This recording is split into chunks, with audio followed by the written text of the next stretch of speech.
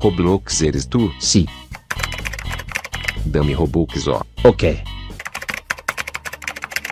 Odias a los pelotocinos. Igual sempre los odié.